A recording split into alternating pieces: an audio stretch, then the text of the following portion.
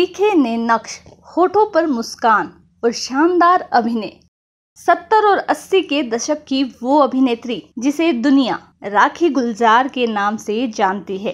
कभी कभी मेरे दिल में। चाहे कोई हसीना का किरदार हो या फिर किसी की मासूका का किरदार राखी हर किरदार को ऐसे निभाती कि देखने वाले उनके कायल हो जाते थे।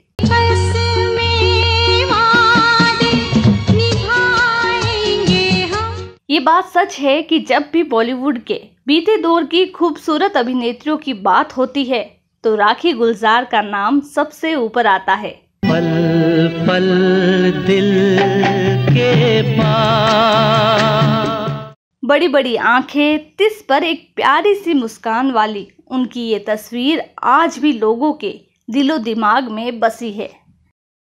लेकिन आज राखी गुलजार इतनी बदल चुकी है कि अब शायद आप उन्हें पहचान भी न पाए।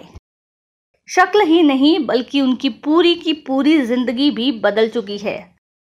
सत्तर से नब्बे के दशक में राखी गुलजार एक खास नाम हुआ करती थी, लेकिन आज वो एक आम औरत की तरह ज़िंदगी बसर कर रही है। एक खास शख्स के इस तरह आम शख्स में बदलने के लिए जिम्मेदार हैं।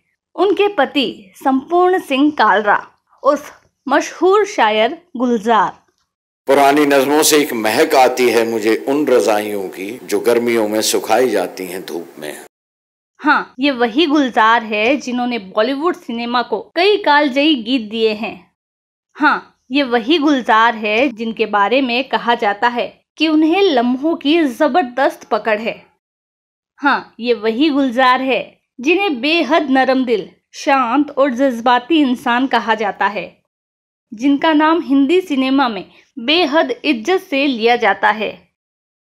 उन्हीं गुलजार पर आरोप है कि उन्होंने अपनी पत्नी राखी को इस कदर पीटा कि वो उनका घर हमेशा के लिए छोड़कर चली गई। समझ गई ना चुड़ैल? जिसके बाद राखी रूपहले पर्दे की चकाचौंध से दूर खेती बाड़ी करके अपनी ज़िंदगी बसर करने लगी। आखिर उन दोनों के बीच ऐसा क्या हुआ जो ऐसी नौबत आ गई? मुझे छोड़ मेरी बात सुनो। मैं तुम्हारी कोई बात नहीं सुनना चाहती। नहीं तुमने ऐसा क्यों कहा? आखिर क्या बात हो गई जिसके चलते फ़िल्मों में आदर्शवादी गीत लिखने वाले गुलजार को अपनी पत्नी पर हाथ उठाना पड़ा? हमारे इतने दिनों का रिश्ता इसी एक बात पर झूठा हो गया। हाथ छोड़ो। आखिर क्या वजह रही होगी कि राखी गुलजार से अलग होकर अकेले रहने लगी? बताएँगे आपको और भी बहुत कुछ। आप बने रहिए हमारे साथ।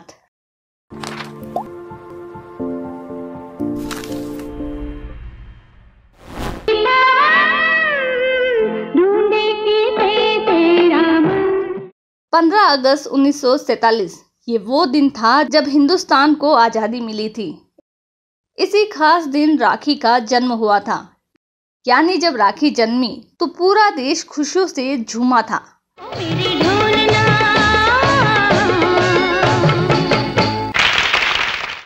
राखी को बचपन से ही फ़िल्मों से बहुत प्यार था।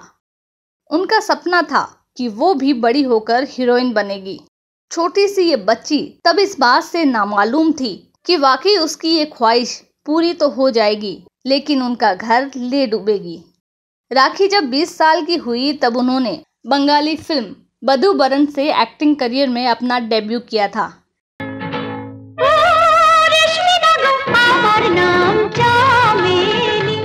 ये फ़िल्म साल 1967 में रिलीज़ हुई थी। वहीं बॉलीवुड में उन्होंने जीवन मृत्यु से इंडस्ट्री में अपना कदम रखा। इस बात को तो हम सभी जानते हैं कि हम जितनी पैदावार बढ़ाएँगे, उतनी ही तरक्की करेंगे। सत्तर के दशक में राखी अपने करियर के चरम पर थी।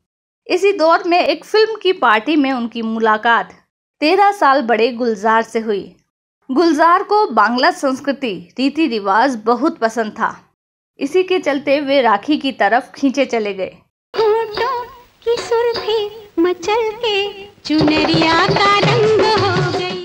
हौले हौले दोनों में प्यार हो गया और 15 मई 1973 को ये प्यार शादी में बदल गया।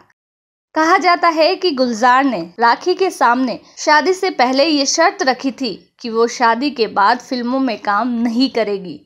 राखी ने भी उस वक्त गुलजार की इस शर्त को मान लिया था और अपने सरनेम में गुलजार का नाम जोड़ लिया। फ़िल्मों से अलग होने के बाद राखी गुलजार के नाम से जानी जाने लगी। शादी के एक साल बाद राखी ने एक प्यारी सी बिटिया को जन्म दिया। इस तरह राखी घर और बच्ची में मशगूल हो गई। एक तरफ़ गुलजार एक साथ कई फ़िल्मों में काम कर रहे थे तो वहीं दूसरी तरफ़ राखी पूरा वक्त घर में अकेले बिता रही थी। लेकिन सही कहे तो एक समय बाद राखी घर पर अकेला महसूस करने लगी थी।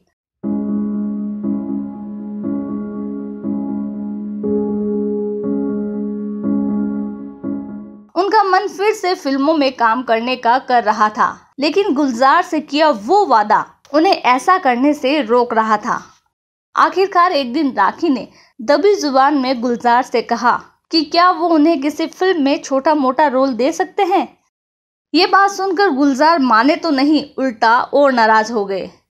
इस वाकये से राखी को यह इल्म हो चुका था कि गुलजार उन्हें फिर से कभी फ़िल्मों में नहीं आने देंगे। लेकिन जिद की पक्की राखी भी कहाँ मानने वाली थी? इस तरह एक तरफ़ उनकी ख्वाहिश थी तो दूसरी तरफ़ गुलजार की जिद। धीरे धीरे ख्वाहिश और जिद में टकराव होने लगा। इस दौरान एक बार गुलजार अपनी फ़िल्म आंधी की शूटिंग की बेहतर लोकेशन की तलाश में कश्मीर गए थे। राखी भी उनके साथ थी। एक रात गुलजार फ़िल्म आंधी के कलाकार संजीव कुमार और सुचित्रा सेन के साथ होटल में पार्टी कर रहे थे। तो नशे में धुत संजीव ने सुचित्रा का हाथ पकड़ लिया, जिसके चलते सुचित्रा काफ़ी भड़क गई थी। गुलजार ने दोनों को शांत करवाया और सुरक्षा के मद्देनजर सुचित्रा को उनके कमरे तक छोड़ने चले गए। वहाँ भी वो सुचित्रा से काफ़ी समय तक बात करते रहे, ताकि सुचित्रा का गुस्सा शांत हो जाए। लेकिन जब वे एक्ट्रेस के कमरे से बाहर निकल रहे थे तो वहाँ राखी खड़ी थी। जो इतनी रात में पति को सुचित्रा के कमरे से बाहर आते देख भड़क पड़ी। अब मैं कैसे यकीन कर लूँ कि तुम्हारी ज़िंदगी में कोई और नहीं है? चिल्लाओ मत। इसके बाद दोनों में काफ़ी झगड़ा हुआ और गुलजार ने राखी को बुरी तरह से पीट दिया। समझ गई ना चुड़ैल? जिसके बाद नाराज़ होकर राखी गुलजार का घर हमेशा हमेशा के लिए छोड़कर चली गई। इस घटना के अगले दिन ही राखी डायरेक्टर यश चोपड़ा से मिली, जो खुद फ़िल्म कभी कभी के लिए लोकेशन ढूँढने कश्मीर पहुँचे थे। यश चोपड़ा भी चाहते थे कि राखी उनकी फ़िल्म में काम करे, लेकिन इसके लिए वो गुलजार से परमिशन मांगना चाहते थे। लेकिन राखी ने गुलजार से पूछना ठीक नहीं समझा और फ़िल्म साइन कर ली। इस घटना के बाद गुलजार भी राखी से हमेशा हमेशा के लिए नाराज़ हो गए। तुमने कभी मेरे प्यार की गहराई को समझा ही नहीं। उस प्यार के सामने फार्मूला महज कागजों का ढेर है। गुलजार से अलग होने के बाद राखी ने खार के सरोजनी रोड में अपने लिए एक बंगला खरीदा जिसका नाम उन्होंने मुक्तांगन रखा। यहाँ बरसों तक रहने के बाद राखी ने इसे रियल एस्टेट कंपनी को इस शर्त पर बेच दिया कि इस पर जो हाई राइज बिल्डिंग बनाई जाएगी, उनका नाम भी मुक्तांगन ही रखा जाएगा। खैर, फ़िलहाल राखी मुंबई के पास पनवेल में अपने फार्म हाउस में कुदरत के बीच अकेले रहती है, जहाँ वो फिल्मी दुनिया से दूर होकर खेती बाड़ी करती है, सब्ज़ियाँ उगाती है।